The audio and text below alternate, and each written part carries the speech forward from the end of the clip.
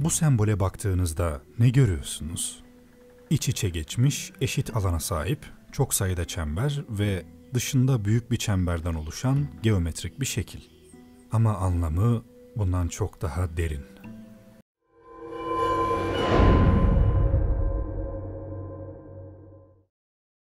Evrendeki her şeyi oluşturan kutsal oranların bir şeması, bir şablonu. Peki ama nasıl? Bu sembolü bu kadar özel kılan ne? Etrafımızda gördüğümüz her şey, evrendeki her şey aslında geometriktir. Ağaçlar, hayvanlar, binalar, yıldızlar, güneş sistemi, aklınıza ne gelirse hepsi geometrik ölçekle ölçülebilir. Bu şekil öyle kusursuz bir orana sahip ki evrendeki her şey bu tek şekilden meydana gelebilir. Kulağa çılgınca geliyor değil mi? Ama öyle değil. Var olan her şeyin yaratılış deseni, soyut olan şeylerin bile, duygu, düşünce, müzik ve dahası, her şey bu imgeden geliyor. Bu şekil antik çağlarda bile dünyanın birçok yerinde biliniyordu. İrlanda, Türkiye, İsrail, Mısır, Çin, Yunanistan, Almanya, Hindistan ve İzlanda'da ve diğer birçok bölgede bu sembole rastlandı. Ve bu şekil her yerde aynı isimle anıldı. Yaşam çiçeği. Yaşam çiçeğini anlamak için önce bir şeklini incelememiz lazım. Bu biraz karmaşık olduğu için imgelem yoluyla anlatacağım. Bir bilinç veya ruh hayal edin. Boşlukta asılı duruyor olsun, yokluğun içinde. Fiziksel bir beden ya da nefes yok. Yalnızca ruh, o kadar. Bir de karanlık. Ruhun çevresinde bir şey yok. Yani sonsuzluk. Ruh bir şey yapmaya karar veriyor. Ve bilinci gidebildiği kadar uzağa genişliyor. Çevresinde bir küre oluşuyor. Bu yaşam çiçeğinin ilk halkası. Artık içinde olduğu 360 derecenin farkındalığına sahip. Kürenin köşesine doğru herhangi bir yere gidiyor. Ve ilk yaptığı şeyi tekrarlıyor. Ortaya böyle bir görüntü çıktı. Ayrıca Vesica Pisces denilen bu kısımda oluşmuş oldu. Bu kısımda uçsuz bucaksızlık ve inanılmaz boyutta genişlik, orantı ve derinlik bilgisi var. Ayrıca karekökleri 2, 3 ve 5'tir ki bu numaralar sonsuza kadar gider.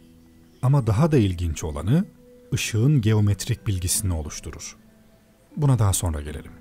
Evet, ruhun tekrarlamaktan başka seçeneği yoktur. Ayrıca ruh kusursuz olduğu için kusursuzca hareket eder. Bir sonraki çemberi burada ya da burada oluşturuyor. Tam anlamıyla diğer çemberin yarı çapa uzağına gidiyor. Ruh çemberden çembere hareket ettikçe oluşan görüntüden gittikçe daha fazla bilgi doğuyor.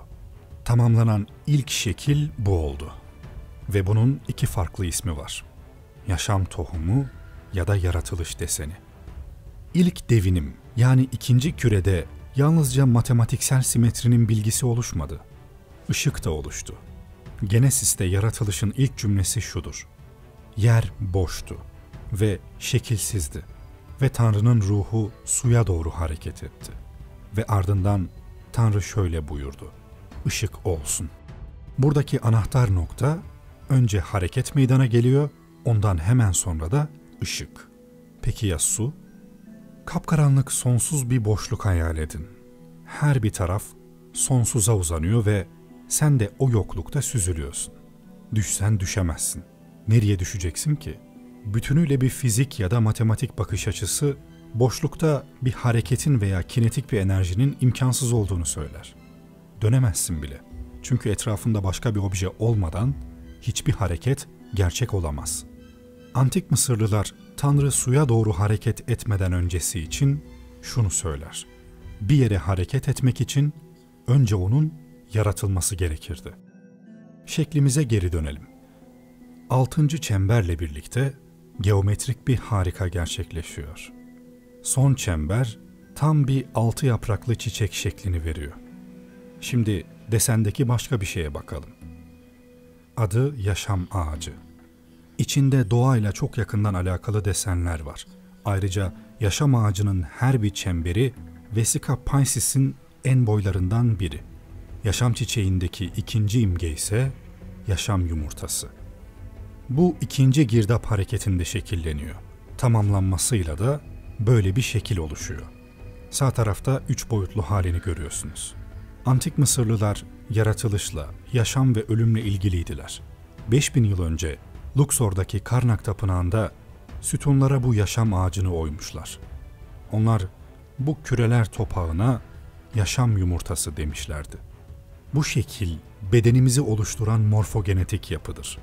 Tüm fiziksel varlığımız yaşam yumurtasına muhtaçtır ve bizimle ilgili her şey bu şekilden geldi. Göz rengimizden parmaklarımızın uzunluğuna kadar. Tüm dünyada yaşam çiçeği hep aynı şekilde çizildi. Gördüğünüz gibi bu desen aslında sonsuza kadar gidebilir. Ama nedense 19 çemberden sonra hep durmuşlar. Neden? Biyolojide bütün hücrelerin kenarının etrafında zona pellucida vardır. Yaşam çiçeğinin çevresindeki bu çemberler, yaşam çiçeğinin zona pellucidası. Bunu çıkarıp ve zona pellucida tarafından kesilmiş çemberleri tamamlarsak bir şey daha elde ederiz. Son eksik çemberi de çizdiğimizde bize bunu verir. Bu yaşam meyvesi. Bu 13 çemberli desen var olan en kutsal biçimlerden biri. Bu imge dişildir. Düz çizgileri yoktur.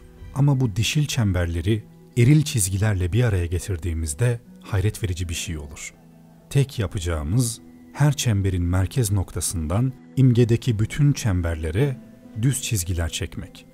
Bunu yaptığımızda tüm evrenin bildiği bu görüntüyü yakalıyoruz. Metatron küpü. Bu evrendeki en önemli bilgilendirici sistemlerden biridir. Var olan temel yaratılış desenlerinden biri. Nedir bu Metatron küpü? Geometride evrende beş eşsiz şeklin varlığından söz edilir. Onlara platonik cisimler denir. Bir platonik cisim tanımlanabilir belli karakteristiklere sahiptir. Birincisi, hepsinin her bir yüzü aynı ölçüdedir. Örneğin en bilinen platonik katı olan küp, her yüzeyinde bir kareye sahiptir ve her yüzü eşittir. İkincisi bir platonik cismin her köşesi aynı uzunluktadır. Küpün her köşesi aynı boydadır. Üçüncüsü yüzleri arasındaki iç açıları aynıdır. Küpü örnek verirsek bu açı 90 derecedir. Dördüncüsü bir kürenin içerisine konulduğunda bütün noktaları kürenin kenarlarına kusursuzca oturacaktır. Bu tanımla küpten sonra yalnızca dört başka şekil bu tarife uyar. Peki onlar nedir?